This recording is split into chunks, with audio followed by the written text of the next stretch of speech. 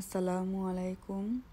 আজকে আমি আমার মেয়ের সাইকেল চালানোর ভিডিও আপনাদের সাথে শেয়ার করতেছি।